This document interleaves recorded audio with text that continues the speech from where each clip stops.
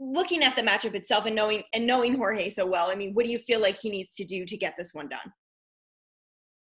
Well, um, considering I have had uh, two, three, four, zero fights in the octagon, um, here's what here's what Jorge Masvidal has to do. Now, I think that while I haven't been in the octagon, I've been in some pretty big professional wrestling matches with a lot of with a with a big global eye on me. So I think what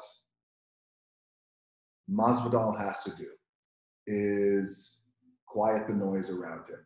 Because the moment, one of the things is quiet the noise around him. Because the moment he took this fight, uh, just you get thrust back into the spotlight and you get pulled in a thousand different directions and you, everyone turns to you and their, their, their energy turns to you for answers and they need answers and you have to decide and decide and decide and decide then you have to train and then you have to prepare and he's probably and you're just thinking 24 7 i mean you all of a sudden your energy and everything goes just like this. I mean and so i think he just has to quiet the noise get over there. It's very hot over there also too. And as you know these guys have to you know you have to quarantine for a couple of days and then they got to cut they got to try and make weight you know within a few hours and then they're fighting.